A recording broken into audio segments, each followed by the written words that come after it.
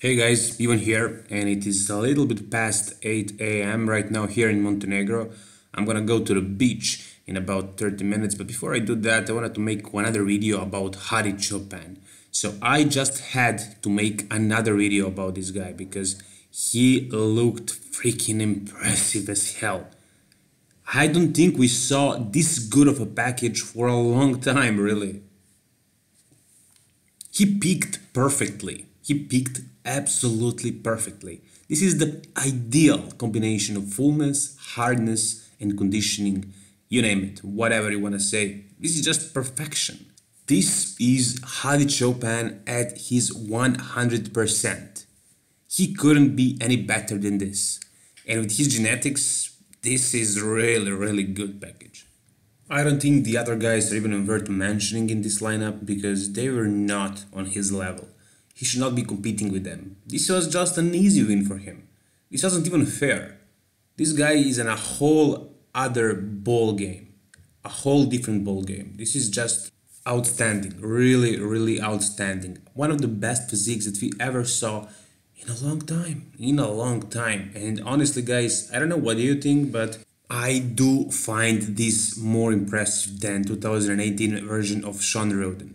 Sure, Shawn was bigger, he is taller, he has a bigger frame, and he was in that ballpark when it comes to conditioning. But he doesn't have this kind of muscle balance. He doesn't have this popping biceps, such a popping chest with those striations, this kind of abs. Sure, Shawn has great abs, but he has a bulge in the lower part of his abs. Hadi does not.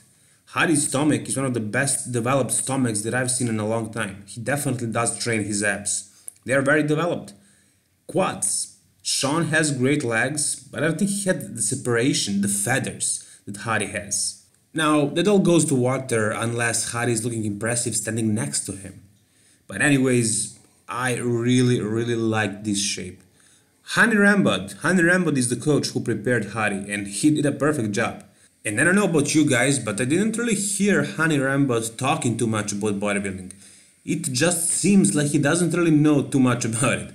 But when you see his results, I mean, what he's done with Jay Cutler, what he's done with Phil Heath, especially Phil Heath, he picked him perfectly for so many years in a row. He really does know how to bring that ideal fullness with perfect conditioning, with so much hardness. He was also the coach of Jeremy Buendia, who was dominating the men's physique division for a long time and then also another girl i think it's bikini or something like that make sure to let me know in the comment section below because i'm not sure but Hany Rambod really does have great results and tonight we can see it with the Hadi Choopan. Hadi was really on spot, on perfect spot.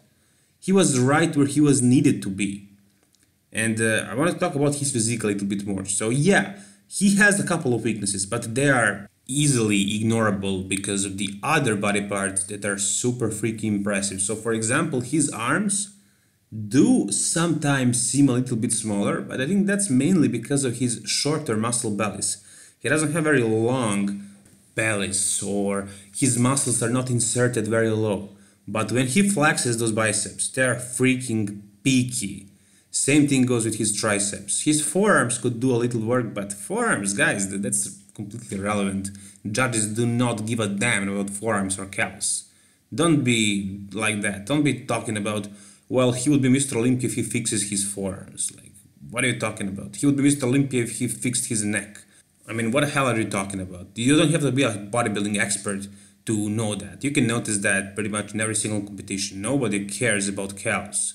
It's such a small body part, such a small muscle group that it's completely irrelevant in bodybuilding.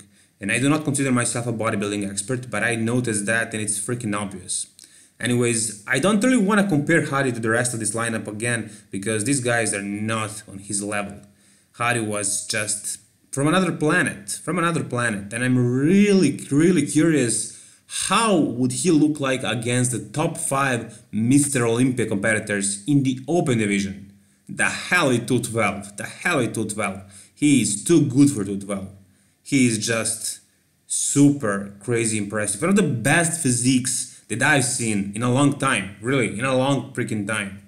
However, if you do want to hear my analysis, comparing Hadi to the rest of his lineup, you can check my previous video about this topic. But I also didn't really go too deep into the details because it's pretty much irrelevant. Hadi destroyed this competition that I'm sure the judges were considering removing him from the lineup and just comparing the rest of the guys because Hadi was first and that wasn't even questionable. But because of the respect to the other guys, they kept him there. But they were sure at the moment when he stepped on the stage that he's taking this trophy home, no doubt.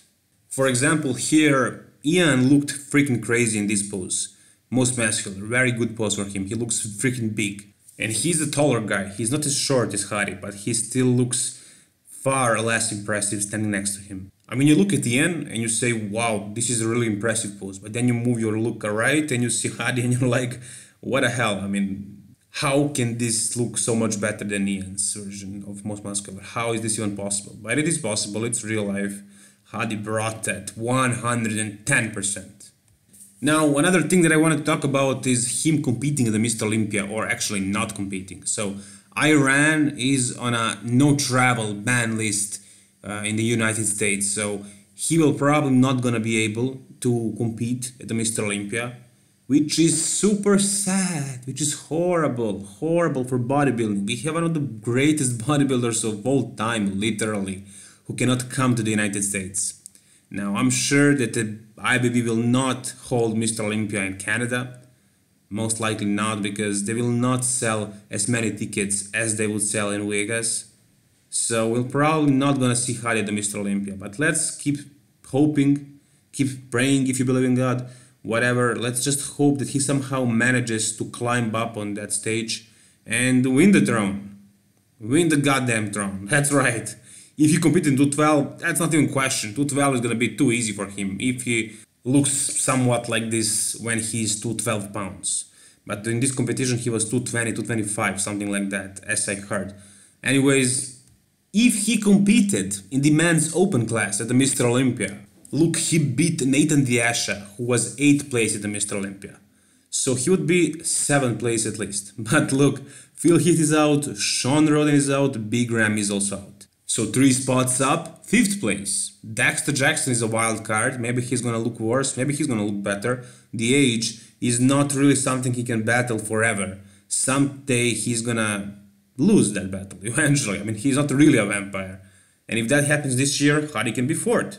Then he only has Brandon Curry, William Bonac, and Roelly. And I don't think he can beat these guys. Maybe he's even more conditioned than them. Maybe he does have better striations, more freaky looking muscle. But when he's standing next to those guys, they would dwarf him. And size does matter in open bodybuilding for sure. I mean, conditioning is crucial, it's very important. But if all the guys are the same size, as they mainly are at the Mr. Olympia open stage, then it's only conditioning what matters. But if you bring a guy that is five foot four or whatever his height is, he would look much inferior compared to the rest of the lineup. So I don't think he really has the chances to be higher than fourth place at the Mr. Olympia in the open class, but that would be huge. That would be epic. And I would really, really love to see that. So if somehow Hadi manages to get the visa and compete at the Mr. Olympia, he should most certainly do the open class. 212 is just too easy for him. And I don't know if he would look as impressive if he was weighing only 212 pounds, but it's not as big of an achievement winning a lower class than it is being fourth in the top class, in the best class in the bodybuilding in the world. So if I was him, I would go for open, most certainly. I would never go back to 212. He is flourishing in this division. Anyways guys, this is it for this video. And before I end this video, I wanna say, if you wanna be a part of my Q&A video, go to my community section, ask your questions and uh, see them answered in about a week or so.